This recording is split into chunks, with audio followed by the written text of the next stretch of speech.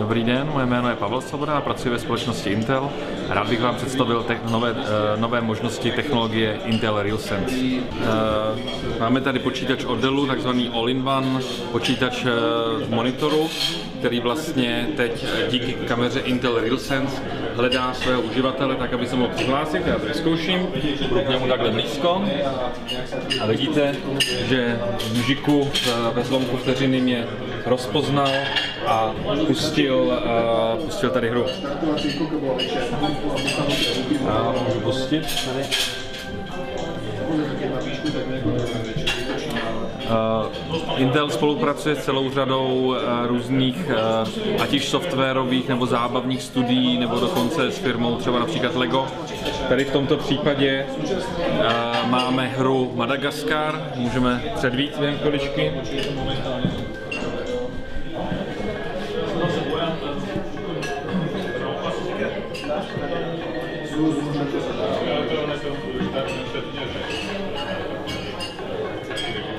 Vlastně ta kamera snímá moje ruce a uh, můžu hrát nějakou hru, kterou ovládám právě rukama. Tady například mám napodobovat surikatu při tom, když zvedá ruce.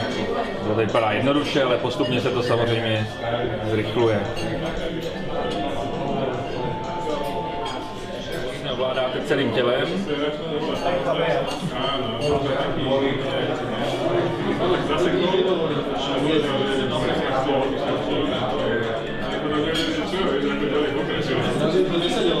Možná ty hodiny vzal počítavání. Jako lidská pečka byla narušená.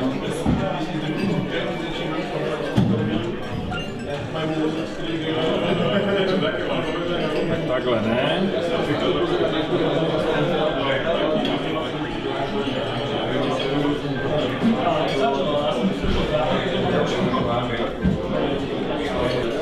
A můj kolega Vlastimil Már vám ukáže nové možnosti bezdrátového připojení s monitorem a s projektorem. Máme tu technológiu VIGIC, čo je skrátka pre Wireless Gigabit. Táto technológia umožňuje okrem rôznych iných scenárov bezdrátové zadokovanie. Tu nám máme bezdrátovú dokovaciu stanicu, ktorú v súčasnosti ponúka HP, Dell, v blízkej budúcnosti by mohol byť na trhu Lenovo, Fujitsu, Siemens. A tu máme nejaké bezdrátové zariadenie, ktorým je dva v jednom počítač.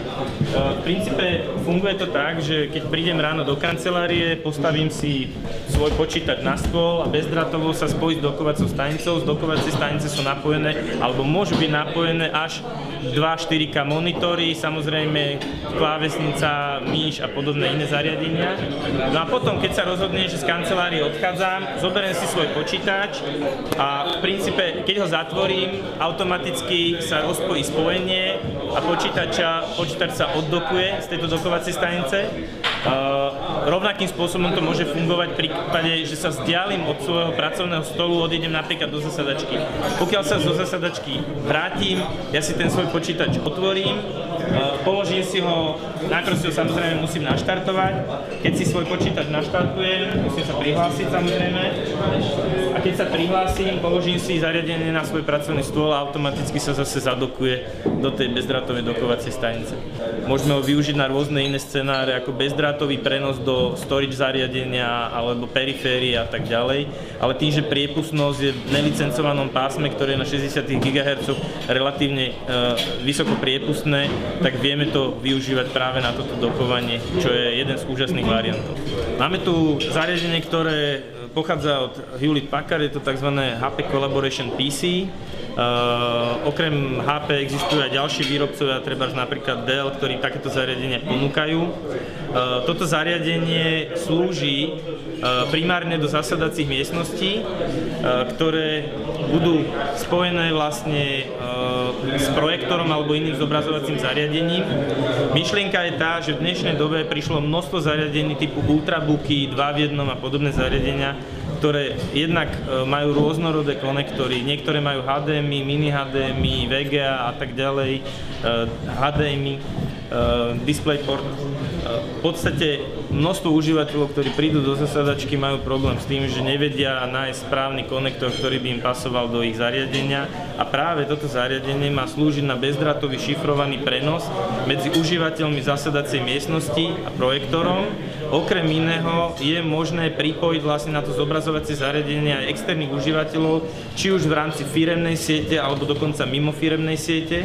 A ďalšia zaujímavá vec je tam, okrem toho šifrovaného spojenia, podporuje to mm, v podstate takmer všetky operačné systémy, ktoré dnes na trhu máme. To znamená, že niektorí užívateľia, ktorí budú v zasadačke, môžu prenášať z Windows zariadení zobrazovací kontent a niektorí si tento kontent môžu zobrazovať alebo môžu ďalej prezentovať z Android zariadení alebo e, Mac e, OS X a podobne. Takže je to otvorené, čo sa týka operačných systémov a zároveň nám neprekážujú žiadne konektorové problémy, ktoré dnes máme v množstve e, dostupných konektorov, ktoré na trhu máme. Čo by som k tomu ešte povedal, vlastne takéto zariadenia sú postavené na softveri, ktorý sa nazýva Intel Unite a Intel Unite je v súčasnosti dostupný aj ako voľne šíriteľný freeware, ale v podstate firma, ktorá si kúpi zariadenie, tak si bude vo väčšine prípadov kúpovať zariadenie, ktoré je už hotové s predinštalovaným softverom, tak ako vidíte na tomto HP zariadení.